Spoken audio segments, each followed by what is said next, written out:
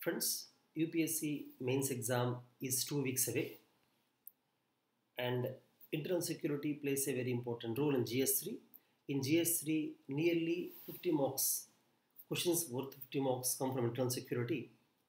Already, I have taken a six hour session on internal security wherein I explained all the topics given in UPSC syllabus for internal security. So, anybody who has not covered internal security in detail can go through my video. You can just type in the YouTube internal security by Sarat Chandra and see 6 hours video. In those 6 hours also, if some topics you already know very well, skip those topics.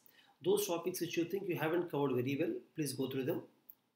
And in the last two weeks before the mains exam, I suggest all of you to write one set of full exam. That means one essay, GS 1, 2, 3, 4, and two optional papers. You have write paper 1, paper 2. Even at Sarat Chandra IAS Academy also, offline in Hyderabad as well as online, we are conducting one full length UPSC mains mock exam for free from September 7, uh, 2nd to 6th. September 2nd, 3rd, 4th, 5th, and 6th. September 2nd will be only essay paper. September 3rd will be GS1 and 2, morning and afternoon sessions. Then GS3 and 4. Then a day break, and then you have a, uh, optional paper anthropology, sociology, geography, political science, public administration, Telugu literature, psychology. These seven options are providing. Anybody who wants to practice mock exams can write it for free, either offline or online, and will be evaluated within three to four days of the of the mock exam that you write. Now, friends, today today's session is analysis of previous year's questions on internal security. The reason being, in the last two weeks before the mains exam, definitely you cannot revise all topics of every subject. For example, take polity, economy, history. You have to revise only those important topics which you think may come in this year's exam or which you think are factual based, which you may forget. Similarly, coming to internal security, though you cannot revise entire internal security next two weeks, we are providing here few possible areas from which you may, you, you may get questions. And these predicted, expected, or possible questions of internal security in this year's GS3 is based on our analysis of previous papers and last 15 to 16 months of current affairs. So, friends, first we will analyze how previous questions have come. Based on that, you can have an idea of what kind of questions you may expect this year.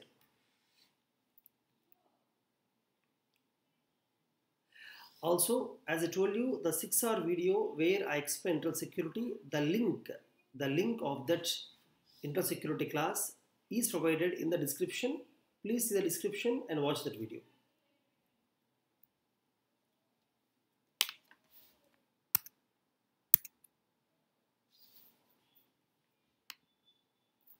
Friends, now let us analyze the previous year's internal security questions right from 2013 to 21.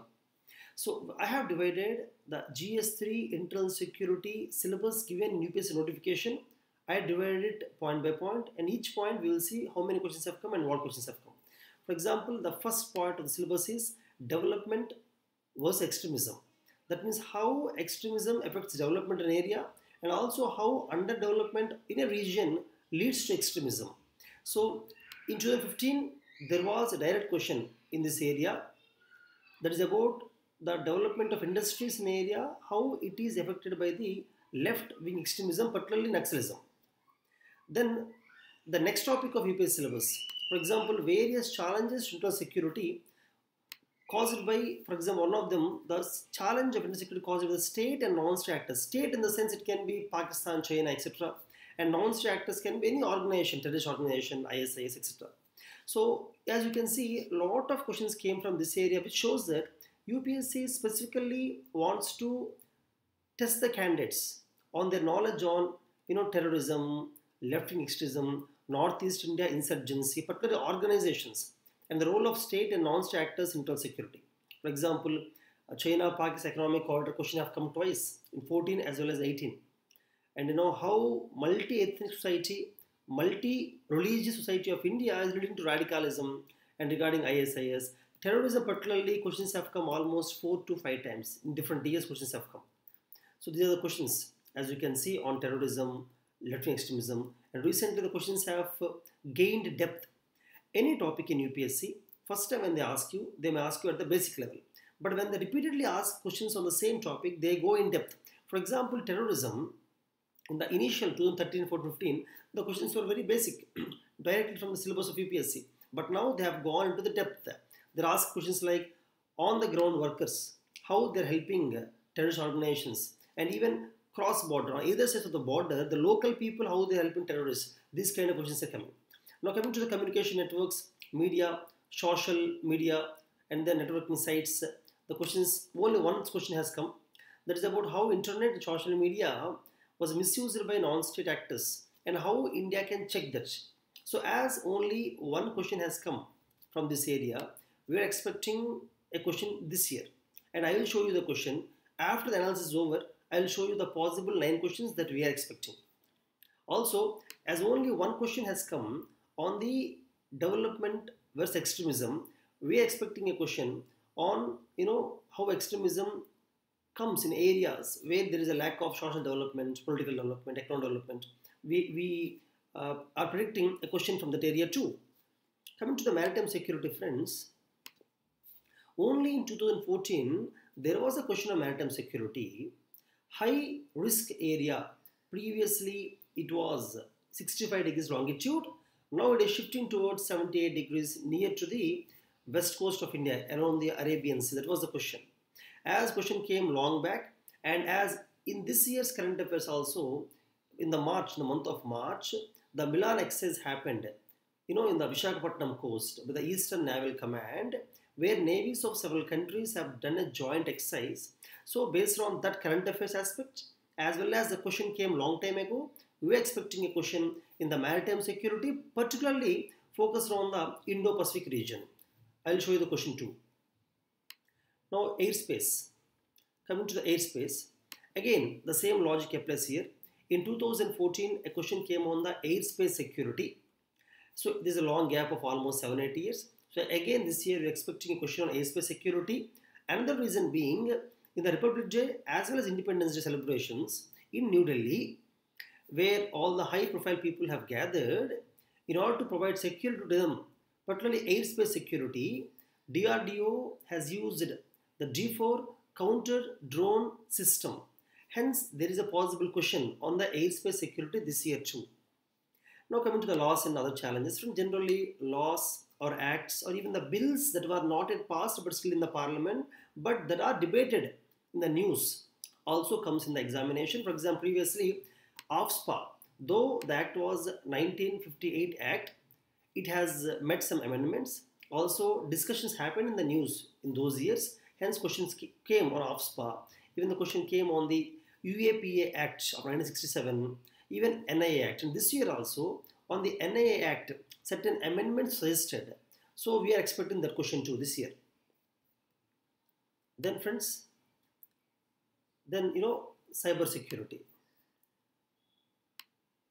Cyber security. On cyber security, there were questions in the last two years consecutively so if at all a question has to come, it will come in depth. There won't be any basic question on cybersecurity according to us. Similarly, money laundering. Recently, a Supreme Court judgment is based on amendment to the Money Laundering and Benami Act. Hence, we are expecting a question also. Last, though question came last year, again, you know, question may come this year based on the Supreme Court judgment. Similarly, border area security, it can be Myanmar, Pakistan, China, whatever based on you can observe the previous questions. Almost five years questions have come. And this year we're expecting the question on the Pakistan border because recently in the news in the news debates and newspapers news channels LOC cross LOC trade from India to Pakistan has been debated. Cross LOC trade which was stopped between India and Pakistan 2019 revival of it is actually talked about. Hence we are expecting question on that area Friends, organized crime and linkage terrorism.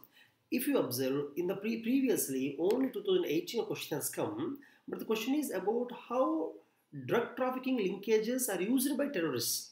So this year we're expecting a broad question, how organized crime is helping terrorism or terrorist organizations in India in terms of their funding or their movement, etc. So the question can actually come this year on this topic. Now, security force, as I told you, NIA, National Investigation Agency, is in the news for several reasons. Hence, there may be question on that area. Friends, UPSC questions are unpredictable. Definitely, we cannot predict all the questions that are going to come in UPSC because that's the style of UPSC examination. However, we have to revise some important topics of the syllabus. We have to expect some questions and focus on them more because we do not have time to revise all the topics. If you expect some topics and spend more time on that, in the examination, if such questions come, you can write better. You can write two or three points more, which will add one or two marks more. And every mark in UPSC really matters in the mains examination. As you know, for every mark, the ranks change drastically.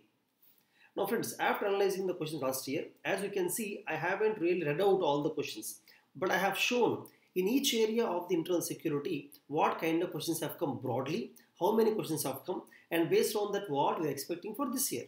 Now, let us go and see what are the nine questions nine questions in the sense nine topics actually. Nine topics uh, in which we are expecting questions. Friends the first question friends i have to tell you one thing. In this video i may not be able to explain all the questions. I mean answers for all the questions. Hence what we are doing is we are attaching a pdf file also providing a link where you can find answers to all these questions for a few questions, I will briefly tell you the way you have write the answer. However, a detailed answer will not be discussed in this video. For example, one area from which you are expecting question is, as I told you, maritime security of India, particularly in the Indo-Pacific region, because the Indo-Pacific has been in the news and the question came on maritime security a long time ago. India is focusing very much on the continental strategies, particularly along the Pakistan-China border. However, Indo-Pacific region is going to be the future of India. If we, have, if we have to secure the secure the trade or build relations, or if we have to become you know global power, or in the extended neighborhoods, if India has to prove itself and able to be a reliable partner for extended neighbors, then we have to be very strong in the Indo-Pacific region maritime security. Hence, the question is also framed in the same light. The question is, India is focusing on the continental strategies. However, time has come when we have to focus on the maritime region and India requires robust maritime strategy and what are the ways security concern related to it. So for any question friend, I would divide any question, you have to write the answer in three broad parts. Number one, any question on security, you discuss what are the possible challenges. For example, cybersecurity question, write quickly about what are the challenges in the cybersecurity uh, area or what are the possible challenges in money laundering. Here it is maritime security. You write what are the possible challenges India may face in the maritime zone. And then write various government steps. What are the steps taken by government? It can be policy, strategy, any you know international meetings India attended. It came up in, with certain act or any bill that is being passed in the parliament. You discussed about all those things. You have to discuss about all those things. And finally, you have to suggest some measures. So you have to show that you know what government is doing and also you have to write your opinion what suggestions will you provide of course you have to address the demand of the question but broadly you have to cover these areas and you should tell the evaluator that you know what are the possible challenges so for example in the maritime security also you write for example piracy is a major problem in the maritime in, in, in the um, ocean piracy for example along the Somalia Gulf of Aden Horn of Africa a major challenge is piracy the question has come high risk area is moving from 65 degrees longitude to 70 degrees. The question has come already. So discuss about the piracy concerns and the maritime terrorism. How terrorists these days in the hybrid warfare can attack easily India only along the coastline because India has got a really long coastline. Even 2008 Mumbai attack also, they came from west coast of India to enter into Mumbai. And then my immigration, particularly from uh, Bangladesh and Sri Lanka, illegal immigration, not only to India, from Myanmar also, not only to India, but they are using India as a transit route to go to other countries, other countries also. That is because along our coastline, as of now, the maritime security is not completely available throughout the coast. There are some gaps. Also, the, the um, uh, coastal coastal security is essential because organized criminals, organized crime, it can be drug trafficking, psychotropic substances, traffic of human beings or arms. You know, these things can easily uh, use the coastline because the security along the coastline is less compared to the land border in India. Disaster, though it, it does not narrowly fall down in internal security, we can still write one or two points on disaster by mentioning that disaster like tsunami, cyclone, or coastal flooding is also a major security threat to India. Now, as I told you, first you have to address the possible problems in that area. Then, what is the strategy for India? India has, you know, though there are several things India has done, we can address three or four fundamental things and three or four current affairs things. That's all you can do in the examination. You cannot write more than five, six points on a given area.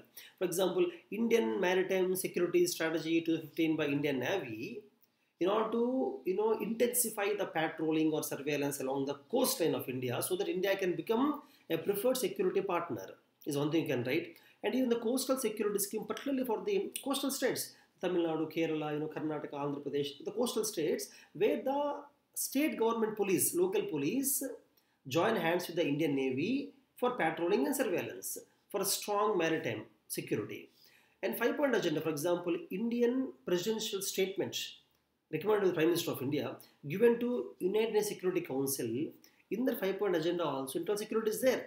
Friends, in the five points, one point is about security, maritime security. Other points, of course, for example, one is the establishing strong trade links and you know, you know, reducing the trade barriers, maritime trade barriers in the environment, the coastal resources, coastal ecosystem, the social be conserved, preserved. So along with these things, even solving the disputes, maritime disputes, means by following UNCLOS. Along with these things, even security is a major major uh, area in the five-point agenda presented by India to UNSC, and UNSC is adopting that.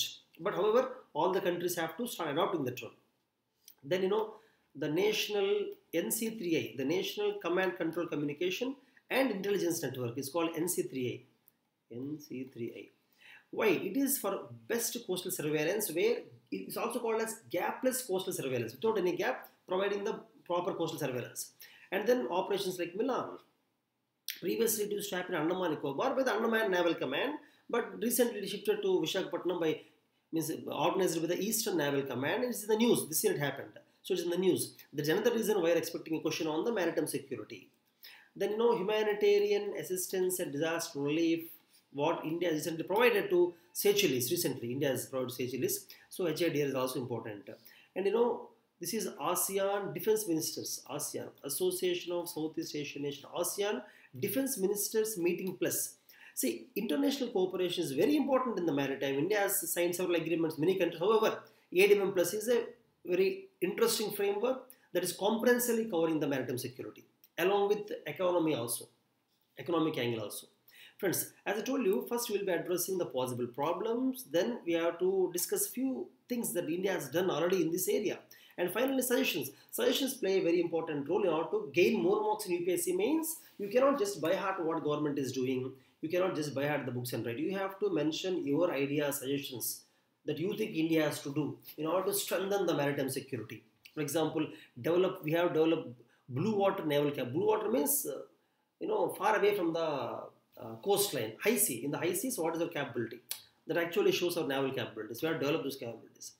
And maritime choke points. So choke points in the sense, for example, Strait of Malacca is a, choke, uh, is a choke point. Strait of Malacca and Strait of Hormuz. Strait of Hormuz choke point. Even Baba al Mandeb. Baba al Mandeb means we have to uh, ensure security along those points where other countries, enemy countries, can easily choke those points and stop our maritime trade. So we have to ensure security in those areas. So we can talk about that, what India is doing and what India shall do in that. And even maritime security infrastructure. The infrastructure along the coastline is very important. Uh, by, by you know both by the state government as well as central government. And then UNCLOS have to be ratified in order to address the disputes because if there is maritime dispute, it leads to maritime security challenges. And we have to implement the five point. Friends, remaining questions I may not spend this much time but I will quickly go through the possible questions that we are expecting this year in GS3 internal security. As I told you, the D4, this actually DRDO's D4 counter drone system was deployed not only during Independence Day but also Republic Day because drone attacks is asymmetric warfare. Easily an enemy country or enemy organization can drop an explosive in the crowd where you know high profile people are you know sitting in a meeting. Even drones can be used to uh, destroy the structures by explosives. So counter drone system is very important, and DRDO has implemented it counter drone system during Independence Day in order to counter the threats from you know any organization, terrorist organization. So hence there is a question in this area. So the question expecting is instead analyze potential airspace security risks and challenges of the drones and what are the measures India has taken and what we have to still take. The questions are almost the same line. Also, this topic is in the Sansad news continuously, and the question came long time ago: airspace security, and recently airspace security has gained prominence throughout the world. Hence, we are expecting a question from this area, friends. Same structure of the answer. First, we will explain the risks, various challenges provided by airspace in the as far as security is concerned. For example, physical attack can be done. You know, recently in the Jammu air base, which is a highly secure air base, but a drone attack happened, though it is a less intense explosive, it was attacked. Jammu air base was attacked. Also, kinetic attacks in the sense uh, they can carry some guns or some explosives and drop drop them where more people are there, where crowd is there, or on a structure which is important for India from security point of view. Even cyber security also can be threatened by the drones. For example, they can act like a Wi-Fi and they can steal the data from that area, from the networks easily. And friends, drones are used for surveillance by the enemy countries along the border to understand what defense equipment and what defense structure we have, or maybe the placement of soldiers along the border. Reconnaissance and surveillance is possible. Privacy can be, you know, invaded through the drones and smuggling. For example, drones are used to smuggle arms, ammunition, guns. I mean, even the Naxals sometimes these days news are there. Naxals are getting some of the guns from other countries through drones only along the border. And as I told you, then you have tried the measures taken by government. We have mentioned them very clearly in the description. Please see the description where we are given answers for all these questions. So also what measures still required, though government is taking some good measures, still more are required. Explain those in the suggestions uh, side heading. Then friends, as I told you, National Investigation Agency in the news. So among various agencies, forces that are guarding the security of India, NIA is very important from the point of view of countering terrorism. And as I told you, UPS's favorite area is terrorism. They asked many questions on terrorism. And as this year NIA is there in the news, amendments NIA is also asked. As you know, friends, see, generally, the seventh schedule of the Constitution of India clearly mentions that state law and order, public order, and police, and police come under the state list, come under the state list. Whereas national security comes under the union list. National security comes under the union list. So there is a clash. You know, for example, National Investigation Agency requires a strong coordination with the local police. But without consulting the local police, sometimes they may have to do some operations for which state governments are not ready actually. Even Chhattisgarh government has filed a case in Supreme Court against NIA. So NIA amendments have been suggested. However, NIA should be strengthened. In my point of view, NIA should be strengthened, should be given more teeth because they're very well trained to counter terrorism. And terrorism is going to be the major inter-security challenge in the next years to come because terrorists are becoming very strong financially, technologically, strategically by getting support from the state actors. So hence, uh, what is, the question was about role and what is the role and mandate of NIA, challenges faced by NIA, suggest ways to strengthen uh, their investigation ability. So how, how can they um, act better in countering terrorism? So question can come as, as I told you, one reason for we to expect this question is it is in the news. Second reason is terrorism is a favorite area of UPSC. As I told you, answers are attached. Are attached. You can see the answers. And friends, as you know, NIA specifically after the 2008 Mumbai attack, in order to counter such kind of attacks, NIA was formed. But later on, it has been given other duties also. For example, high profile counterfeit currency, cross-border counterfeit currency uh, movement. Uh, to stop this movement, the work is also given to NIA. Means later on, NIA's the the area of NIA, the area of the work of NIA has been expanded with time as security challenges are also uh, prominently increasing these years. Friends, for example, India and Pakistan relationship is you know going up and down in recent times. How can LOC trade be a hope? Friends, you know many international experts foreign affairs thinkers of India are suggesting that LOC trade, cross LOC, friends, as you know, line of control, LOC, between India and Pakistan was established, you know, after that uh, Bangladesh Liberation War, after the war in 1972, in the Shimla, in Shimla Agreement, LOC was accepted by both the countries. From that time, trade was encouraged actually because trade helps the people on both sides of the border economically, socially. They'll get employment also. And you know, almost from last 10 years, almost 7,500 crores worth of trade happened between the borders. So there is a potential scope of the LOC trade. However, the point here is LOC trade is good for both the countries, but India's fear is that this trade has been misused by state and non-state actors to smuggle the arms, you know, ammunition or you know, drugs, psychoactive substances. Terrorists are able to move using the LOC trade, etc. So you have to address this. Means at one side you have to tell the importance of LOC trade for both the countries, because if LOC trade is stopped, no, LOC trade is stopped, no, then the trade happens to other countries. If anything has to go from India to Pakistan, it will go through Nepal, go through other country, go through Afghanistan. So because of that, you know, the both sides of the, the people on both sides will not get a lot of benefits. So you address those concerns along with security challenges provided by this uh, LOC trade. So this topic is there in Sansad as well as the news news.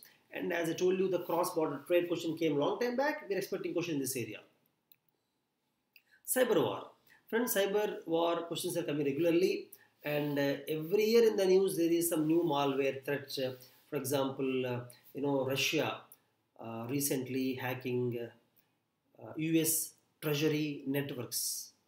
Russia was not directly mentioned, but the malware that attacked the American US uh, treasury networks is pointed towards Russia. So every year, for example, before before that uh, Pegasus was there, even before that uh, WannaCry was there. So every year there was some new malware that is throughout the news. Hence, uh, you know, in fact, cyber war is actually gaining strength because of not only artificial intelligence but also Internet of Things, because of cloud computing, the big data you know so latest technology is able to strengthen the uh, strengthen the not strengthen is the, the latest technologies are able to make the cyber war more powerful so cyber attackers those who are uh, hacking are getting new tools in their hands to hack hence the countries like india have to train their soldiers i mean the cyber warriors with these tools so that we can effectively stop cyber attacks. Hence, the question can come in this area also. Till now, only basics were asked on cyber war, and as things are changing year on year, deeper questions can come on the cyber war. So, you have to address both. What are the advantages of artificial intelligence? Artificial intelligence can be used for cyber security as well as it's a bane. By using artificial intelligence, the cyber attackers can actually become stronger to easily uh, steal the data or make the networks dysfunctional. The next question expecting, as I told you friends, the first part of the UPSC syllabus in security is development versus extremism. In this area, only one question came six years ago. So we are expecting a question on this one. So broadly, social, economic and political dynamics, how they influence extremism in these areas and how poverty, unemployment, lack of development, insecurity, and absence of rule of law, all these things, how they are building the ground for extremism. So, question in this line. So, here you can write about uh, how underdevelopment, for example, how corruption in some areas, misgovernance, or lack of employment, or lack of economic development.